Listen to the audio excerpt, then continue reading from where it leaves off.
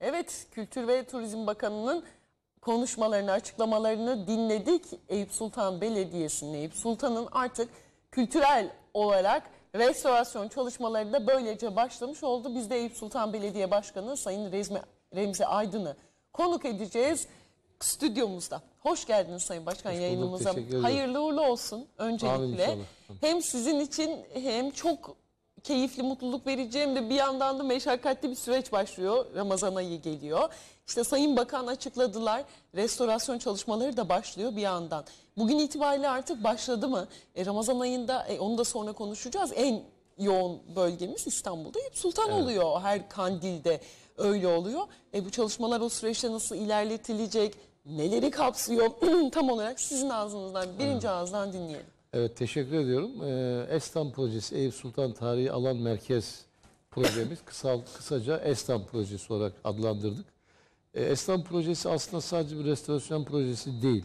Esasında sabah da söylediğimiz gibi içinde 67 tane ayrı e, kategorilerde, değişik kategorilerde 67 alt projeyi e, barındıran bir külli bir proje aslında. Sadece bir restorasyon projesi de değil, aynı zamanda e, bir medeniyet inşa, ihya projesi diyebiliriz. Çünkü çok kapsamlı, çok değişik boyutlar olan bir proje. Bu projemizi biz e, göreve geldikten yaklaşık 3 ay sonra başlamıştık. Haziran 2014 yılında başladık ve 2,5 yılda tamamladık proje kısmını e, söylüyorum. Tabii e, onlarca kurumun paydaşlığında e, belki yüzlerce uzmanından faydalanarak ve çok sayıda toplantılar, arama toplantıları, çalıştaylar, yarışmalar e, yaparak oluşturulan bir proje. Kağıt üzerindeki kısmı bile iki buçuk yıl sürdü. Evet, evet. Tabii bu tip projeler esasında e, çok bir şey itiraf edeyim. Çok daha uzun süren projelerdir. Çünkü çok külliyetli, kapsamlı, nitelikli projeler. Ama çok şükür biz çok e, tempolu giderek, çok e, uzmanlarla iyi e, timingler ayarlayarak açıkçası süreci kısa bir zamanda hallettik diye e, e, ifade edebiliriz. Gerçekten Allah da yardım etti ve e, umduğumuzdan daha kısa zamanda tamamladık. 2016 yılının son itibariyle projemizi tamamladık ve iki tanesini projemizin e, başladık bu bitirmek üzere. E, Eyüp Sultan'daki rehberlik hizmetlerimiz e, ve e, çarşımızın inşallah e, şimdi e, caddesi yenileni, yenilenmek e, üzere, bitmek üzere ve Ramazan'a inşallah yetişecek. Tabii bu anlamda Eyüp Sultan Tarihi Alan Merkez projemiz e, ne, neyi kapsıyor diye e, sorduğumuzda cevabımız tabii şu olabilir. E, bazı tarihi eserlerimizin restorasyonları var. Bunların işlevlendirilmesi var. Çünkü öyle yerler var ki türbelerimiz kapıları kilitli ve içeri ziyareti yasak. E, ondan insanlarımız faydalanamıyorlar. Bunları açacağız. Bunları işlevlendireceğiz. Diğer tarihi mekanlarımızı gene restore edip bunları kültürel ve sosyal faaliyetlerde Hangileri? kullanacağız. E, tarihi, eski tarih, tarihi karakol binamızdan tutunuz, e, Sokollu hamamına, e, efendim e, yine e, türbelerimizden tutunuz, Müstenler Kahvesi dediğimiz bir dizi tarihi e, eserlerimiz e, bu anlamda e, işlevlendirilecek. Ama sadece restorasyon değil, e, altyapısı ve zemin döşemeleriyle Eyüp Sultan merkezimiz ve civarındaki cadde sokaklarımız yeniden e, tarihi dokusuna uygun bir şekilde e, yapılacak, gerçekleştirilecek. İşte bir kısmı başladı zaten ve bitmek üzere. E sadece bu kurumsal kimlik çok önemli. Evet. Bugün e, Eyüp Sultan'a ge- geldiğinizde bir bütüncül kurumsal kimlikle karşılaşamıyorsunuz.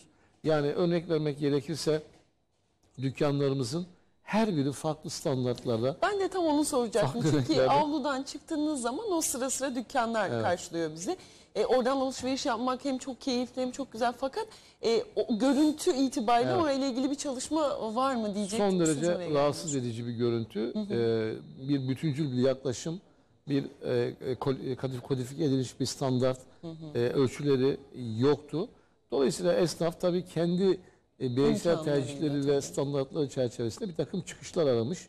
Işıklısı, renklisi vesaire. Bu yakışmayan, doku yakışmayan bir e, manzaraydı. İşte bütün bunları uzmanlarıyla, sanat tarihçileriyle, mimarlarıyla, şehir plancılarıyla yani bu konu uzmanları neyse onlarla oluşturduğumuz bir proje kapsamında ortaya koyduk. Ee, örnek vermem gerekirse gene bir başka anlaşılması adına ilk defa Eyüp Sultan'da bu anlamda bir e, rotalar oluşturduk. Yani gezi rotaları oluşturduk. Siz Eyüp Sultan'a geldiğinizde e, nereyi nasıl gezeceğinizi bilmiyorsunuz. E, size bunları anlatacak bir rehber de yok. Evet yani bir sokağa giriyorsunuz tahmin etmiyorsunuz bir yere varmak için bambaşka bir şey çıkıyor karşınıza sürprizler de Evet. var.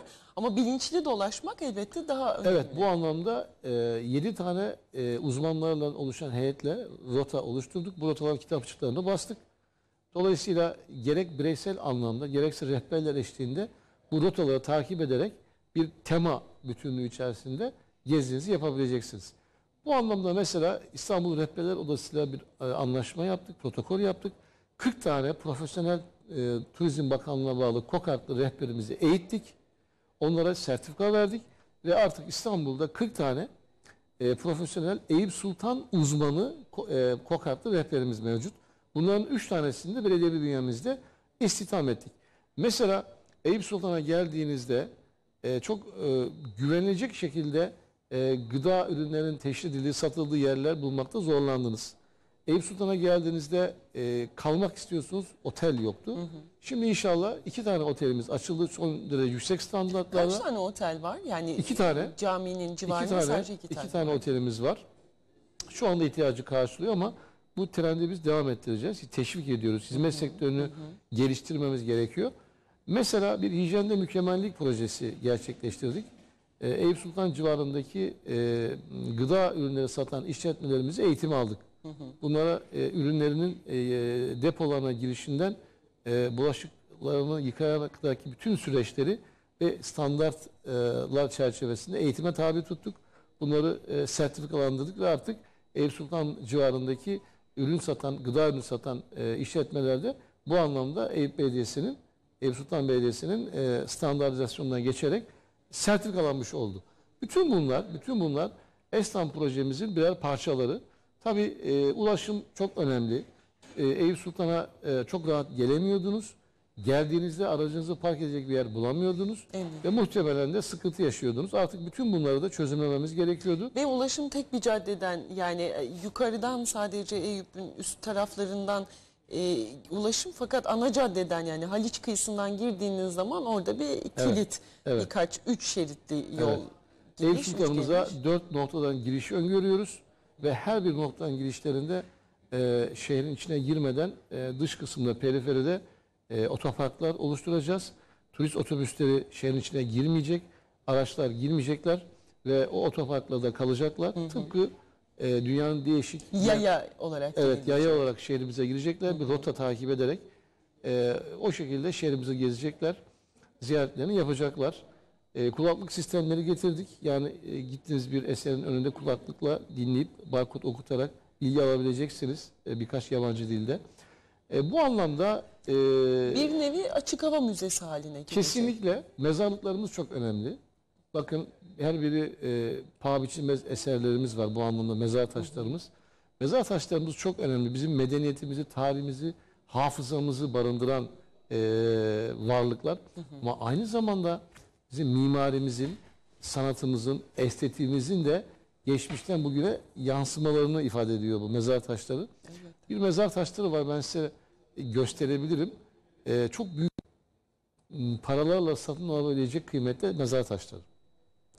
Bunları koruma altına alıyoruz.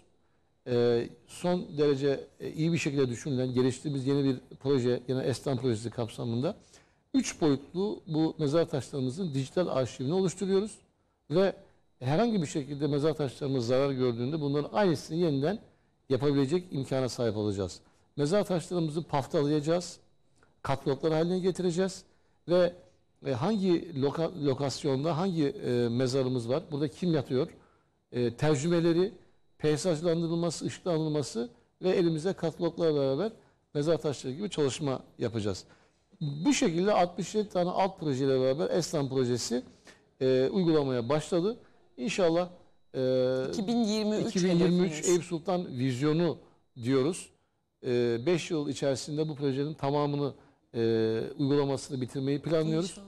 Tabii e, projeyi e, yapan e, yani e, belge düzeyinde yapan ilçe belediyesi olarak biziz. En büyük paydaşımız e, İstanbul Büyükşehir Belediye'miz oldu. Uygulama aşamasında da yine en büyük paydaşlarımızdan bir tanesi Büyükşehir Belediye'miz ve Kültür Bakanlığımız, Vakıfları Genel Müdürlüğümüz ve diğer e, kurumlarımız olacak. Çok külliyetli, çok e, kapsamlı, çok nitelikli bir proje. E, ve hep şunu e, söylüyoruz. Eyüp Sultan'da yaşamak, Eyüp Sultan'da e, yönetici olmak bir e, avantaj. Çünkü çok kıymetli bir hazine var. İnsanların e, çokça ziyaret etmek istedikleri bir e, bölge, bir belde ve çok manevi huzur buldukları bir bölge. Ama bu avantaj aynı zamanda bize bir sorumluluk yüklüyor. Elbette. Ee, insanların beklentilerini karşılamak, onların çok rahat, huzurlu bir şekilde e, bölgemizden, ilçemizden ayrılmalarını temin etmek. Bu bizim için bir e, vazifedir.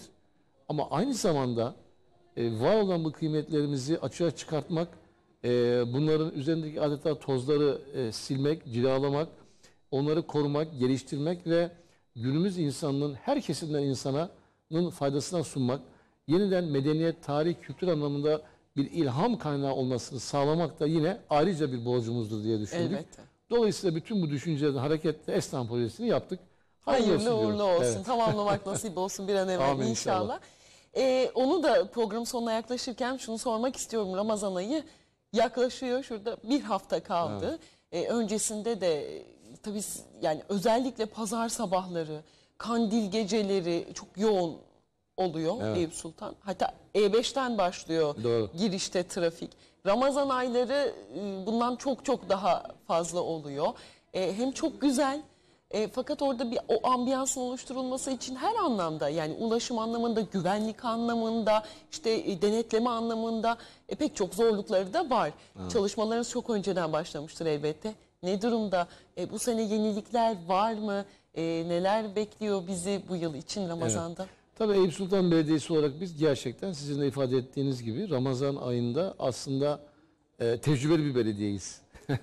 yani çünkü beklentileri bildiğimiz için gerçekten e, arkadaşlarımız bu konuda e, son derece nitelikli ve tecrübeli e, olarak çalışıyorlar. E, sistemlerimiz oturdu, kadrolarımız oturdu. Yıllardan beri bunu geliştirerek kendi içimizde yapıyoruz. Geçen yıllardan e, inşallah bir eksiğimiz olmayacak. Yine e, kültürel anlamda nitelikli ve çok çeşitli zengin programlarımız olacak. Bizim Eyüp Sultan'da Ramazanımız e, öğlenleyin başlar. Saat Evet. e, 11.30-12 gibi başlar. 3 yıldan beri yaptığımız ve çok e, revaç bulan e, çocuk iftarımız. Yani teknoloji, dediğimiz Teknoloji çocuk iftarı. iftarı, teknolojimiz yine bu sene de devam edecek. İnanılmaz bir şekilde e, bir şekilde dönüşler, olumlu dönüşler oluyor ve çocuklar çok rağbet ediyorlar ailelerle beraber. Bunları inşallah mahallelerimizde bu sene yayacağız. Tabi devamında ikindiyle beraber akşam namazına doğru ve yatsı ve e, sahura doğru da e, kültür ajandamızda, Ramazan ajandamızı e, hazırladığını bitirdik. İnşallah yayınlayacağız. E, Ramazan ajandamızda hangi gün, nerede, hangi saatte ne tür programlar olduğu da ayrıntılı bir şekilde e, basılacak, ilan edilecek. Ama biz tabi musikiden, e, tarihten, sahnelerden, e, meşkten, e, Kur'an e, tefsir çalışmalarına kadar e, çok değişik alanlarda e, Ramazan'da e, umduğumuz, bulmayı umduğumuz her programı bu seneye kadar olduğu gibi bu sene de inşallah e, sergileyeceğiz. Ufak bir sıkıntımız e, e, sahilde e, tramvay çalışması yapıldığı için e, sahillerimiz inşallah bu yıl sonuna kadar tramvayımız bitecek. Bu da önemli bir şey. Unuttum Evet. biraz önce. E, Estan projesi kapsamında ulaşım da çok önemli bizim için. Çünkü insanların Eyüp Sultan'a çok rahat ulaşmaları, erişimin sağlanması gerekiyordu. Metro ve tramvay çalışması inşallah bu yıl sonu bitecek ve bu da Her ikisi de. e, Evet, bu da e, ilçemize, merkezimize ulaşımı çok derece rahatlatacak. O noktada e, sahilimizdeki inşaat çalışması sebebiyle sahillerimiz e, bu sene Ramazan e, ziyaretçilerimize maalesef kapalı olacak. Ama onunla ilgili biz e, alternatif çözümleri getirdik. E, Nedir onlar? e, okul bahçelerimizi ve parklarımızı bu anlamda e, ziyaret yerleri olarak e, ve parklamalı olarak e, fonksiyonel En büyük fonksiyon problemlerden getirdik. biri çünkü otopark. Biz e, ziyaretçilerimizi e, bu zamana kadar olduğu gibi bu sene de inşallah e, rahat ettireceğiz. Rahat olsunlar. Herkesi bekliyoruz. E, Ramazan tabi e, Eyüp Sultan'ı bir başka. Onu herkesin hissetmesini arzu ediyoruz gerçekten. Elbette. Çok çok teşekkür ederiz Sayın Başkan. Ee, siz çok yoğunsunuz. Evet. Hem bu proje için evet 5 yıllık bir süreç ama E, projelendirme aşaması bile iki buçuk Evet. yıl sürmüş Evet. bir çalışmadan bahsediyoruz. Şimdi hedef 2023. E, restorasyon çalışmaları bir yandan, yenileme çalışmaları bir yandan. İşte metro geliyor, tramvay Evet. geliyor. Önümüzdeki hafta Ramazan ayına başlıyoruz. O yoğunluğumuzla bir arada. E, Allah kolaylık versin diyoruz. Çok sağ olun. Hem çok önemli bir hizmet, gurur verici bir hizmet e, ve bir de tarihi bir sorumluluk aynı zamanda. E, Allah kolaylık versin. Çok teşekkür ederim, size. sağ olun. Çok Sayın ederim. Remzi Aydın'ı konuk ettik. Eyüp Sultan Belediye Başkanı adı artık değişti. Tekrar tekrar yineleyelim. Geçtiğimiz ay biliyorsunuz adı Eyüp e, Belediyesi'nin ismi artık Eyüp Sultan Belediyesi oldu. Ve bu kapsamda restorasyon çalışmaları gerçekleşiyor, başladı. İşte bugün e, Sayın Turizm Bakanı da açıkladı ve e, Ramazan ayıyla birlikte bu bir yandan bu çalışmalar da başlayacak. Eyüp Sultan Belediye Başkanı Sayın Remzi Aydın'ı konuk ettik bu bölümde. Şimdi kısa bir ara verelim. Saat başına devam edelim.